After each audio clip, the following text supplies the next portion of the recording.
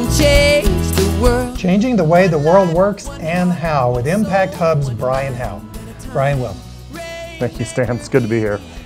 All right, so I put a lot of uh, burden on you, changing the way the world works, but you really kind of are, right? Uh, I I don't know. That scares me. uh, depends what you mean by that. All right, well, let's talk about the impact hubs. There are several around the world, uh, and you manage the one um, in Seattle, correct? Mm-hmm. Yeah, so at the moment, I think we're around 60 sites in the world. Um, we're a cooperative, uh, and so probably only interesting to a lawyer like me, but we're technically an Austrian federation, um, which means that each site uh, kind of has one vote in the global cooperative. Uh, and we're growing rapidly. So um, we're about double the size we were a year ago, and there's many more that would like to open.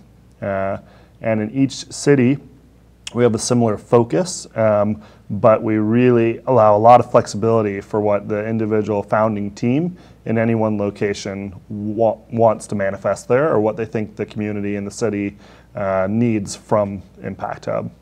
Okay, personal story here. Uh, here at Rainmakers, we actually felt like that the energy was so high and it just so great that we wanted to locate here. And so we've actually found a, a good place to locate a studio here in the Impact Hub in Seattle. Uh, but this is really where an awful lot of business takes place, it seems to me. I, is that accurate?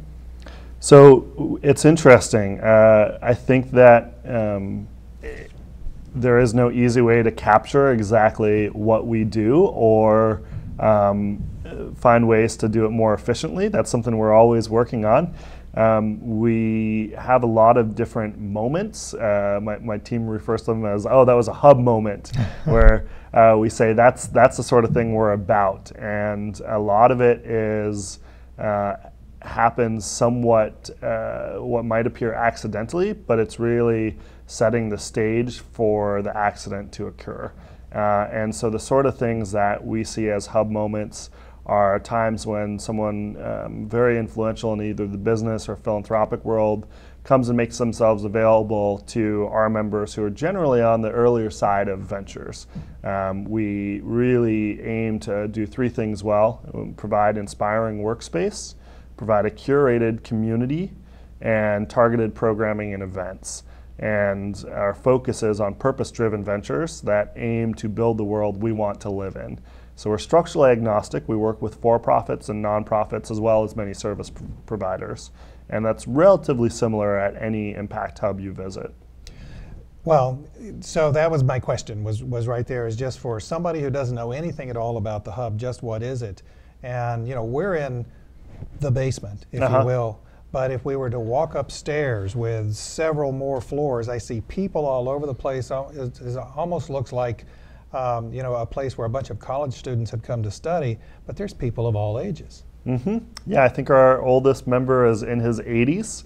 Um, I, I, don't know our youngest member, but we do have two organizations that do incredible work with youth here in Seattle. Both uh, Ashoka has the leading youth ventures um, uh, city uh, based out of Impact Hub here, and then One World Now, ran by Kristen Hayden, who's actually an Ashoka Fellow. Uh, she runs her organization here, and they teach Arabic and Mandarin to youth and send them on trips overseas and really disrupt uh, in a very positive way the course of a young person's life through that exposure to a different culture. So we get a lot of uh, youthful energy around here, but I don't know quite who the youngest member is. Hmm. we tend to have a cluster in the 20 and 30 somethings, but certainly plenty of members on either side of that range. You mentioned you were a lawyer. Um, how come you're not off making a bazillion dollars being a lawyer and instead you're making whatever running this organization? Yeah, so uh, my, my background prior to law school was more on the global development side. Um, academically, that's where I did my study, specifically on urban issues within global development. Uh, and I went to law school with the intent of um, going to work on public uh, law issues. So, uh, kind of with the belief that in order to have any sustainable solutions to the issues the world is facing, you really need strong rules of law in the economy where you're working. Um, because if you don't have kind of basic pillars around legal rights, economic rights, and property rights in place, as well as just equal access to the court system, nothing else matters. Um, and so I went to law school with that intent and fell in love with entrepreneurs accidentally. Uh, you know, one of those uh, looking for an extra class to take happened to stumble into a community development and entrepreneurship clinic uh, and was placed with a client who was backed by a lo- local microfinance bank and, and they were an entrepreneur who had received a loan from this microfinance bank and uh, and um, from there found myself really constrained by the billable hour. Uh, so that i was working very long weeks making a lot of exciting introductions offering a lot of advice whether they wanted it or not but not doing a huge amount of legal work. And so i really wanted to find a model that allowed me to continue to invest my time energy resources um, into the entrepreneurs that were particularly inspiring to me and not worry about whether or not they could afford a lawyer's hourly rates. Um, so I uh, transitioned the firm and um, joined a team to help launch Impact Hub and have been very glad with that solution. So I don't know if there's uh, bajillions of dollars to be made out in the, the legal world. I didn't see them when I was there, but uh, I'm quite happy with the solution. The Impact Hub in Seattle itself, is it like all the rest of the Impact Hubs around the world? You know, I've only had the opportunity to visit a handful of others. Um, there's some individuals within the network that have got to visit quite a few, uh, and I'm, I'm jealous of them, and I'd love to do an around the world trip. So if anyone out there wants to sponsor me on, uh, you know, around the hubs in 30 days, I'm in. uh, as far as the other hubs I've visited, obviously geography uh, makes it easier to visit the ones within North America. Uh, so I think we do have a lot of similarities to our sister hub. We have two sister hubs, one in Australia and one in the Bay Area, and we have a lot of similarities with our sister hub in the Bay Area, which was the first one to open in North America and really has been an incredibly generous leader for the Impact Hub movement. We've seen a lot open in the last few years since they planted themselves in, in San Francisco. So I'm, I'm out there, I'm watching this, I'm a social entrepreneur, I've got a good idea. I don't want to spend a ton of money on office space. Why would I be considering an impact hub wherever I am? Mm-hmm.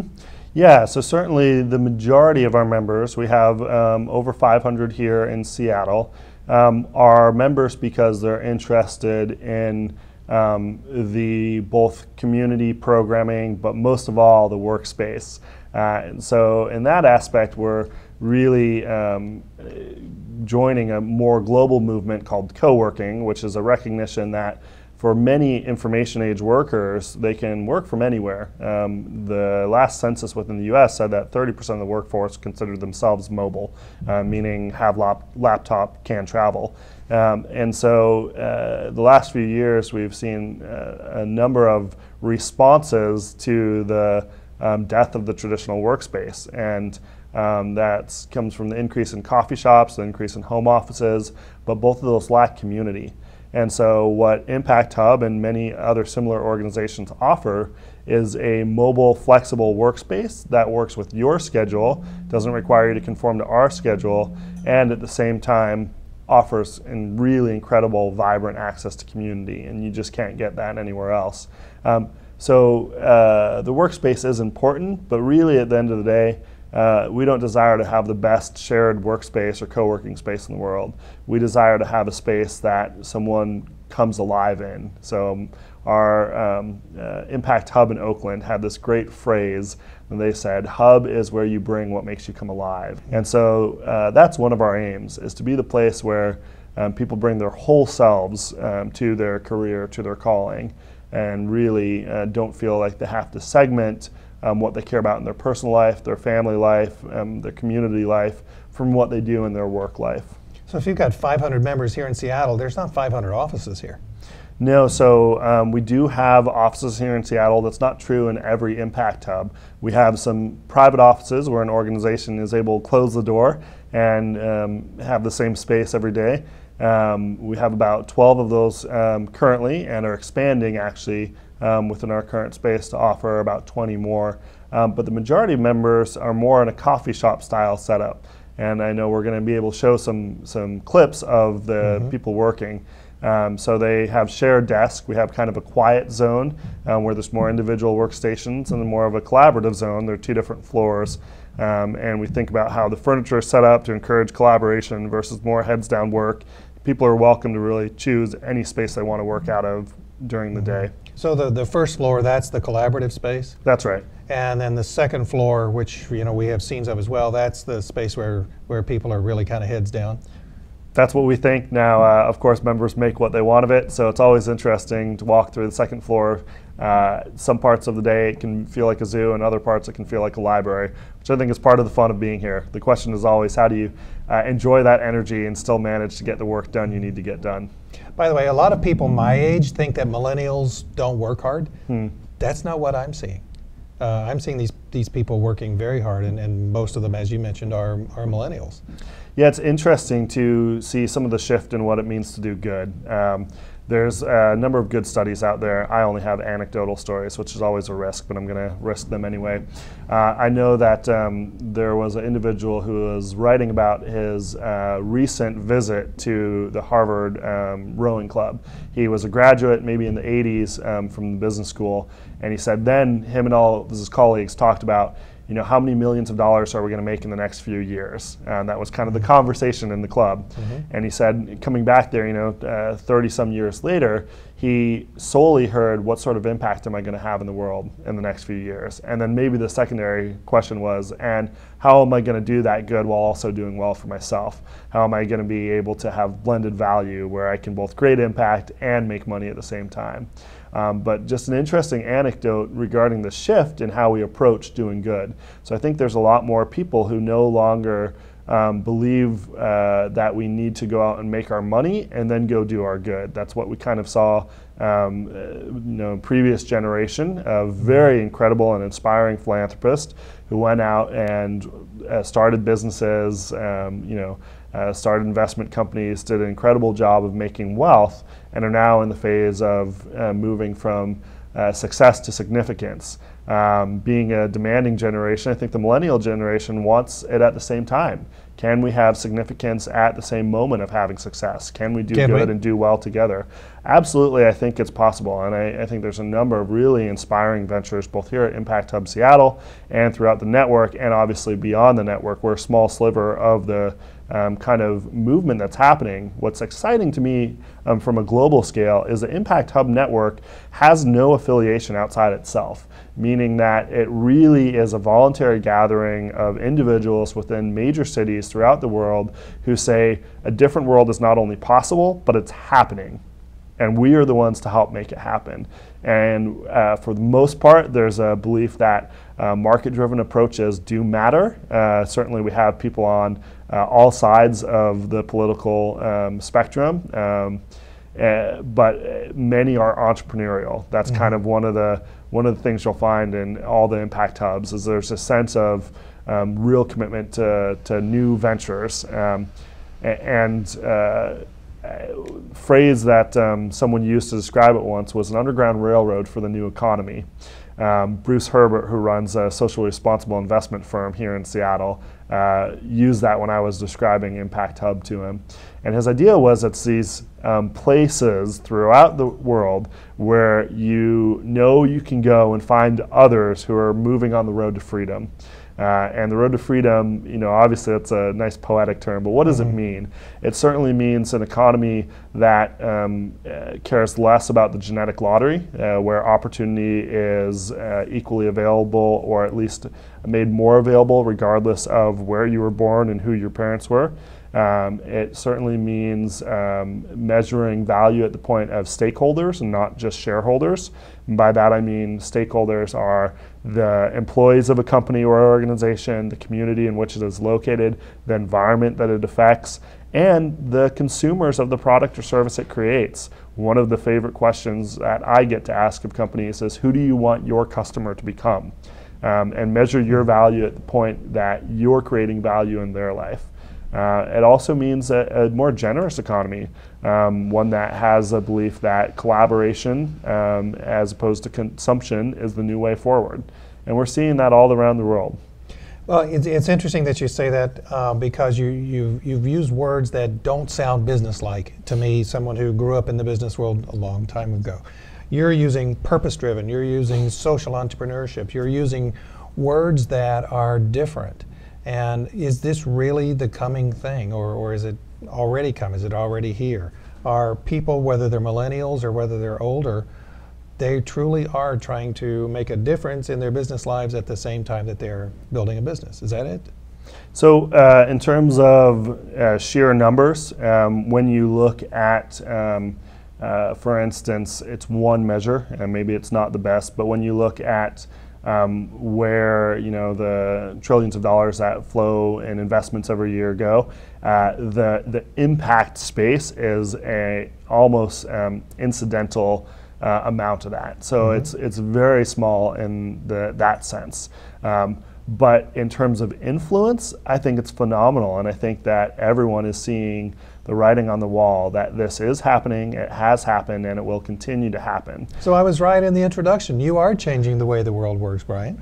So uh, my, my title here at uh, Impact Hub is Town Crier, and the reason why is, uh, you know, very much uh, like any um, exciting endeavor, exciting venture, uh, it takes a village to build it, the same way it takes a village to raise a child. So I get to say I was the town crier who started um, calling out about, hey, shouldn't Seattle live into its legacy as the, the capital of impact entrepreneurship, of social entrepreneurship. Mm-hmm. And I say that because we really have a unique city here. You know, about 30% of the workforce is in some for, some way global, as I'm sure you know, um, that that's attached to their, their jobs, um, and that's partially given our geographic location, but also the type of ventures we ha- uh, or industries and organizations we have, um, both here in the city and throughout the Pacific Northwest. Um, and we're an incredibly charitable uh, city. Yes. Uh, so we're always ranked as one of the most um, willing to give cities. Um, and we're also very educated, uh, and so people tend to know a lot about what's happening in the world. Um, they care about it, and they're eager to learn more about it. So we have a, a great um, ecosystem in those regards, and I think there's every reason to think that um, not that it's a matter of rank or, or claim the status, but in terms of helping move the ecosystem forward, that Seattle um, really is poised to be the capital of social entrepreneurship. Mm. We're showing, going to be showing some websites from impact hubs from around the world. And um, there are some of, of, yours, I don't necessarily uh, say that they're your favorites, but there are some that are, are different and some that are similar. What are some of the differences in some of the impact hubs around the world? Sure, so it ranges from all sorts of things. The great thing is it's, um, uh, you know, again, this commitment to kind of trust and collaboration and entrepreneurship across the network. Um, and uh, where that has individual expression in each city is really in response to that city. So that's one of the reasons why I wanted to be part of the Impact Hub network is because uh, I saw far too many times in my past um, work in global development people coming in from outside saying, here's the solution.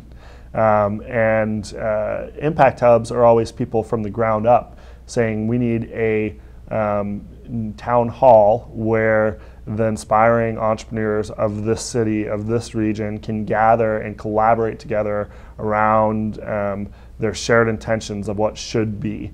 And I, am very um, careful with that phrase, shared intentions, mm-hmm. as opposed to shared beliefs, because I think the diversity within that is really incredible. We don't all share the same beliefs about how we get from uh, the current state to, uh, you know, the great white north where freedom is, to go back to the Underground Railroad analogy.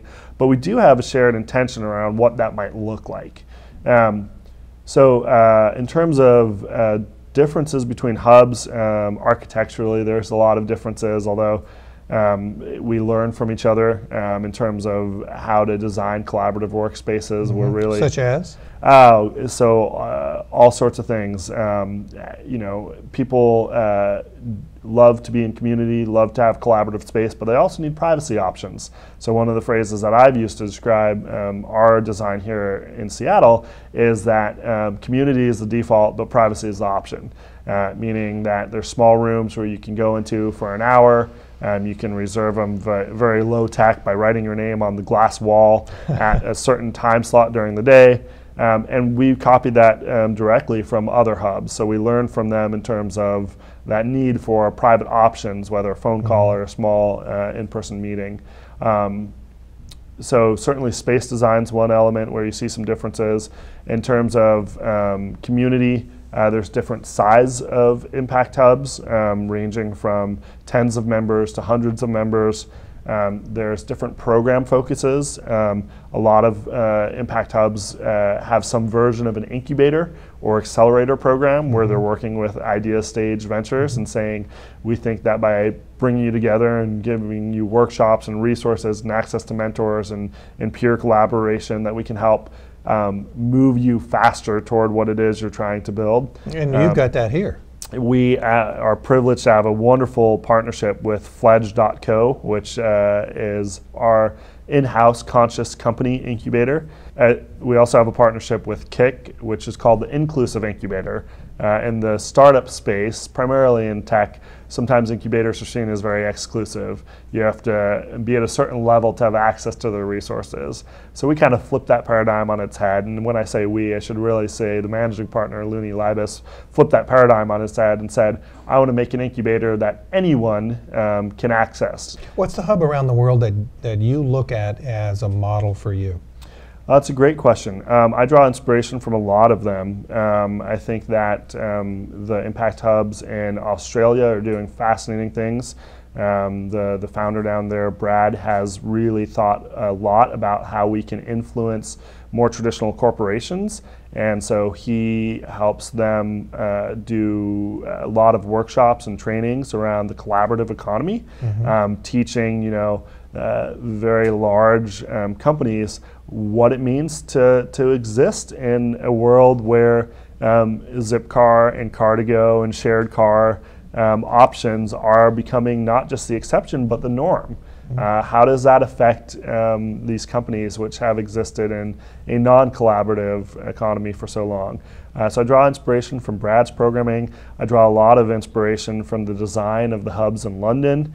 Um, really incredible. Indy Johar is uh, an incredible architect who is also the uh, founder of a hub in London, an impact hub in London that's just beautifully designed. He's um, he and his uh, architect team are the winners of a TED Prize for creating a, a, a wiki house that can basically um, it's open sourcing architecture, and you can hmm. download and, and print with the um, uh, can download the CAD design for a house and basically print and assemble it um, with a CNC router. Uh, so they have those as their meeting rooms, oh um, and they're also being installed in favelas at the same time. So just incredible design there. So I draw a lot of inspiration for them.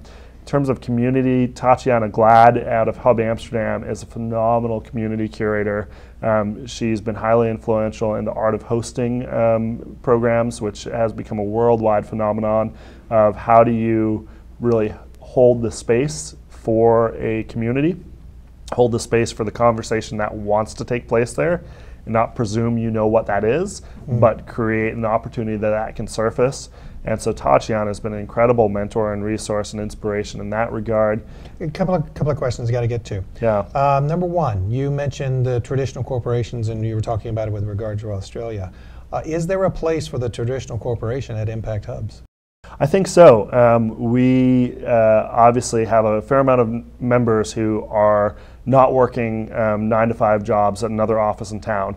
But we also have a lot of members who come to us in after hours or before hours. They come to us to get that other passion piece of their project done, mm. um, either through an event or through um, just utilizing the workspace and the meeting space.